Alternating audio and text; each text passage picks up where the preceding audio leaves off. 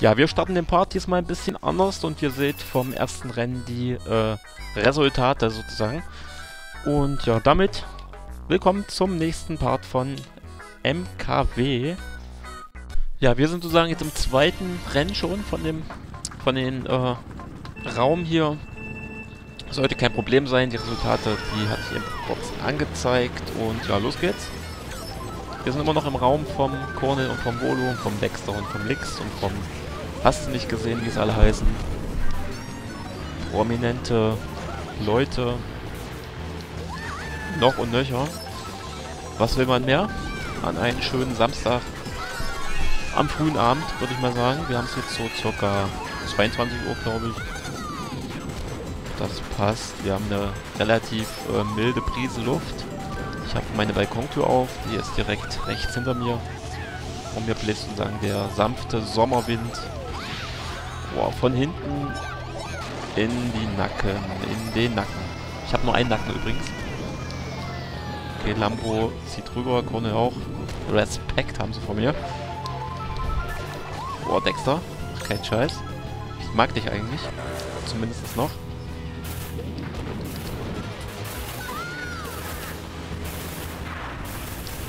Okay, Lambo, dich äh, nehme ich mal sozusagen vergewaltige ich mal. Okay, jetzt habe ich, ja, ein paar Leute platt Boah, wieso drängelt er mich denn weg, wenn er klein ist? ist das denn der Wahnsinn hier?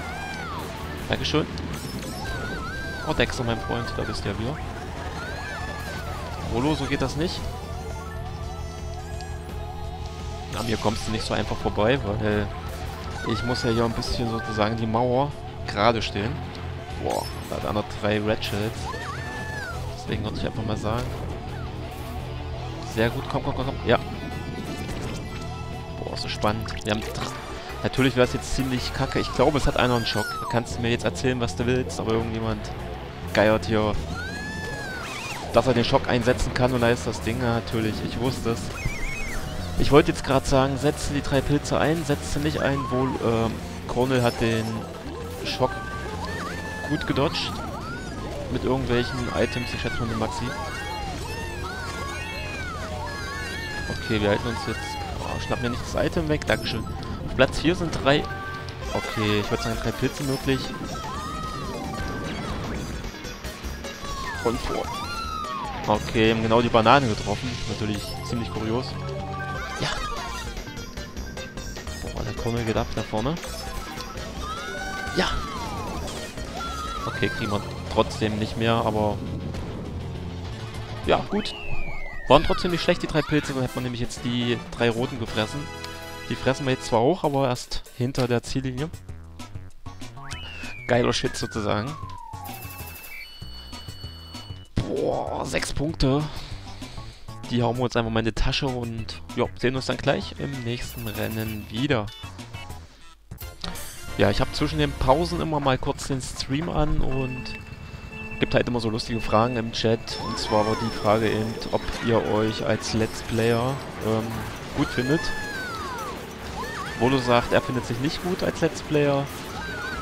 Und Korne meint eben noch zum Schluss, dass ja, dass wenn er andere vergleicht jetzt mit sich, dass er sich auch nicht gut findet mehr, aber er hat halt die Leute auch dann nur sozusagen verglichen, also er hat sich mit den Leuten verglichen, die auch ähm, ein bisschen professioneller Let's Playen. Also er vergleicht sich da nicht mit jedem. Der Luca zum Beispiel guckt ähm, den Corner gar nicht. Das ist ja Geschmackssache, er muss ihn nicht gucken, ganz klar, weil es hat halt... Oh, Dankeschön. Hat halt jeder immer andere Geschmäcker.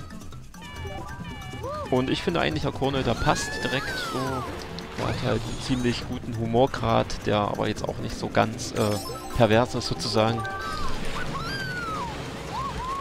Kommt eigentlich alles so ganz gut rüber, was er da so bringt. Ist auch ein Let's Player, den man so nicht findet. Also hat jetzt keinen Doppelgänger, der so seinen Stil nachmacht. Cornels Welt kommt ja bald. Zumindest es wird ausgereift richtig. Er möchte sich jetzt, hat er vorhin erzählt, so, so wie nennt sich das, so Proteinshakes, glaube ich, kaufen und die dann trinken zum Satt machen. für seine Diät. Da bin ich mal gespannt, was dabei rauskommt, was da auf ihn drauf zukommt, weil es gar nicht so einfach. Man denkt sich, ja, so eine Diät mache ich einfach mal, fange ich mal an. Und ja, am Tag geht das eigentlich immer so, finde ich, aber dann, wenn es so abends wird und es wird halt gemütlich, man ist für sich alleine, sitzt so ein bisschen, oder man ist zu zweit, sitzt halt so ein bisschen, zockt eine Runde und ja, kriegt dann auch ein bisschen Hunger, Appetit.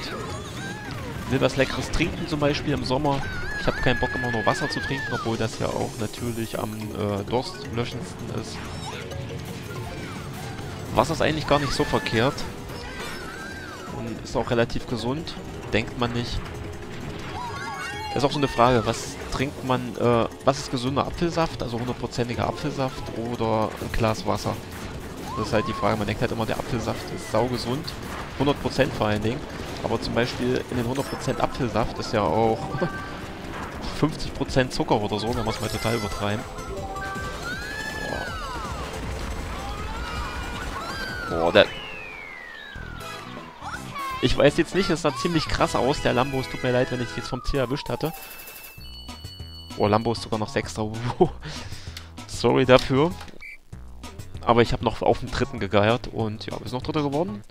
Wurde auf Platz 1, Dexter 2, Maxi JRPG auf Platz 3, äh, 4, Entschuldigung. Ja, dann war Cornel, Lambo und der Player auf dem letzten, glaube ich. Ja, hat nur einen Punkt. Ja, so, ich würde mal sagen, ähm, was kann man jetzt anschneiden? Also es gibt neue Themen, es gibt News von Nintendo, das könnte man anschneiden und ich könnte so ein bisschen über mich noch erzählen. Sozusagen über mein Real-Life-Leben.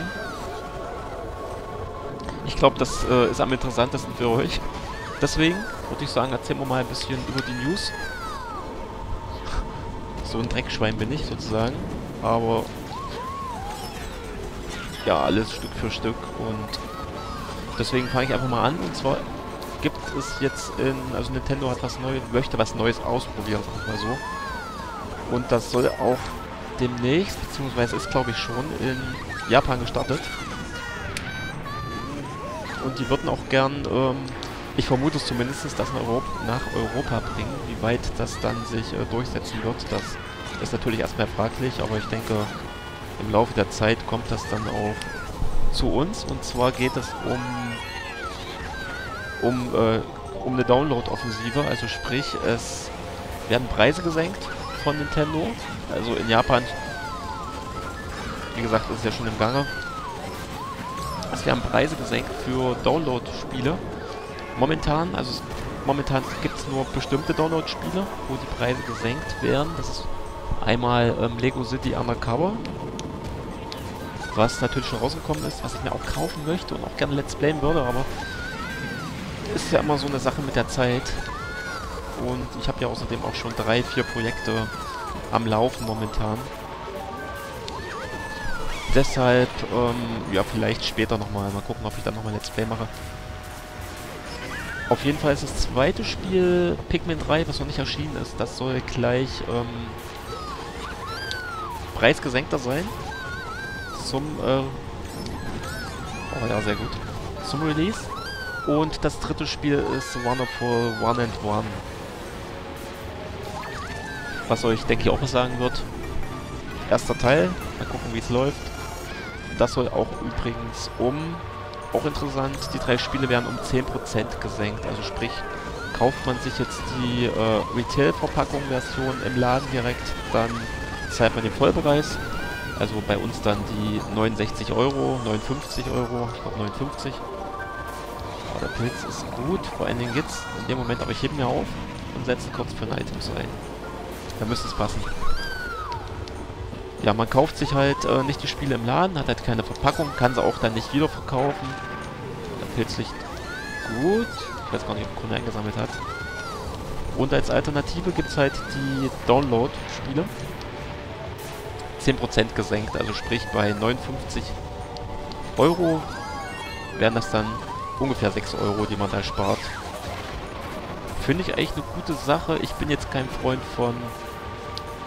Schade, jetzt haben wir hier nicht letzter, siebter, okay.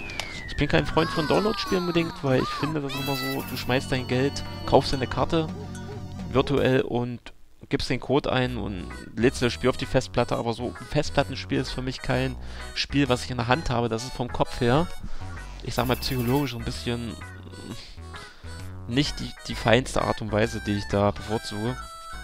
Ich habe halt das Spiel, ich geile mich da richtig drauf auf, wenn ich das Spiel stehen habe. Das macht mich, ich weiß nicht, wie es euch dabei geht, aber so ein Spiel in der Hand zu haben und aufzumachen, so das, das Geräusch, das Bap, das Klack. Und ich kann es euch mal, ich kann es euch mal kurz zeigen, das Geräusch. Einfach mal so aus Fun. Game Advario habe ich mir gekauft. Einfach mal, boah, ist das ein Geräusch? Und zumachen und klack. Boah. Und das riecht, das riecht noch so neu, das Spiel. Oh. Das ist einfach nur ein Traum. Und ja, wir sind eigentlich jetzt wieder Mittelfeld gelandet ungefähr. Und ja, das war der nächste Part. Ich verabschiede mich von euch. Macht's gut, bis später und ciao.